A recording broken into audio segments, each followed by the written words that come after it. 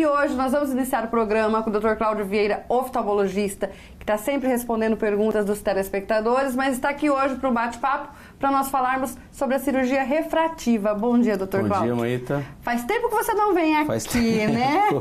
é um prazer estar aqui mais uma vez para a gente tirar suas dúvidas e também falar sobre um assunto interessante. Seja bem, muito bem-vindo. Fala um pouquinho para a gente sobre a cirurgia refrativa, que é a cirurgia para retirada dos óculos, é isso? É, a cirurgia refrativa é uma das cirurgias mais modernas hoje da oftalmologia, em que você retira a dependência do óculos. Não é que o paciente não vá nunca mais usar óculos, mas você tira por um período da vida dele a dependência desse óculos. E essa cirurgia qualquer pessoa pode fazer? É, precisa ter uma idade X? Como é que funciona isso? Bom, a cirurgia refrativa, como qualquer cirurgia, você tem um protocolo para essa sequência. Primeiro, você tem que ter a estabilidade da refração, ou seja, do grau, a partir dos 18, 19 anos em média, para mais e não para menos.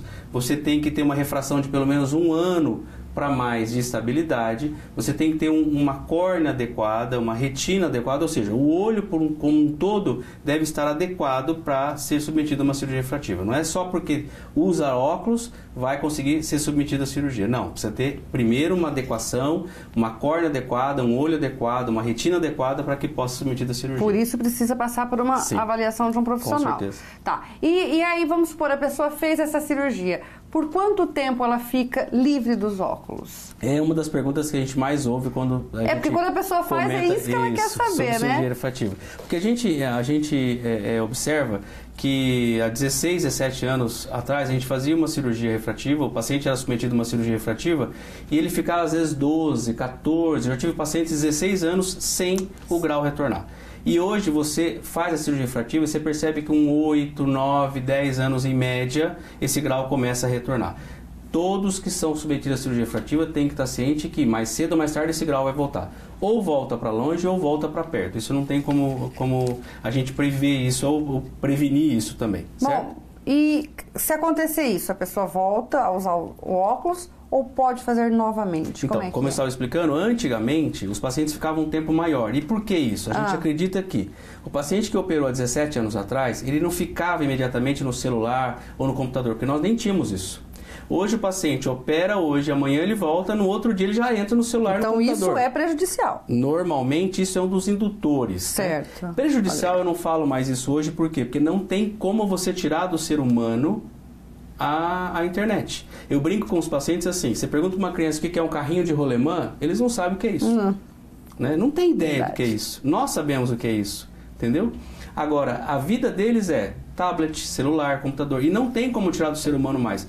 O, segundo os últimos estudos, em 2050, 65% da população pode ter miopia induzida pelo celular. Olha Eu tenho só. crianças em que o pai não tem miopia, a mãe não tem miopia, e ele tem 4 anos e já está com miopia. Pois ele fica no tablet o dia todo, o celular, ainda mais com essa pandemia. Olha que alerta. É, né? essa pandemia estão todos direto ligados na internet. Fala um pouquinho então pra gente, pra resumir, a cirurgia em si. Ela é demorada? Como é que é? O pós-operatório? Porque aí as pessoas às vezes podem ter medo e parece que é uma cirurgia simples, né? Sim, normalmente, eu, eu não gosto de falar que a cirurgia é simples, né? Toda cirurgia tem... Sim, toda cirurgia a gente- é uma cirurgia. De uma maneira, de uma maneira É. simplória, a gente fala ao paciente, é uma cirurgia tranquila. Tranquila. Normalmente, na grande maioria das pessoas, a cirurgia dura em torno de 3, 4 minutos. Principalmente a cirurgia 100% a laser. Três, quatro minutos. Minutos, o total. Normalmente a cirurgia nós fazemos a 100% a laser, então nós não temos lâmina, nós não temos, não corta a córnea do paciente. A gente pinga colírio anestésico, encosta o laser e ele é submetido à retirada da- da- do grau. Ou seja, o primeiro laser eh, dura em torno de 26 segundos e o segundo laser de 30, 40 segundos, um pouco mais, um pouco menos, certo? Vai para o outro olho e repete o mesmo É, eu já ia procedimento. perguntar, faz Isso. uns dois no mesmo dia? Isso. Dor no ato da cirurgia não sente nada. Nada. No pós-operatório ele vai sentir uma sensação de areia, de corpo estranho. Eu peço para que as primeiras três horas ele fique com o olho fechado num quarto escuro. As próximas oito horas ele pode ter um borramento visual, mas no outro dia normalmente ele está apto já a trabalhar, sair, fazer tudo. Fazer as, as suas funções É normais? claro que ele tem que usar as medicações, fazer todos os controles, é, não entrar em piscina, represa, rio e mar. Claro que é uma cirurgia, você tem que seguir as orientações médicas. Bom, mas como você disse, é uma cirurgia Sim, tran- sim, tranquila, sim, né? Bom, mais uma vez gostaria de agradecer a sua participação. Que isso, é um prazer é meu estar aqui toda vez. E continue conosco tirando dúvidas, porque olha que vem bastante perguntas na sua área, viu? Sim, com certeza. Obrigadão.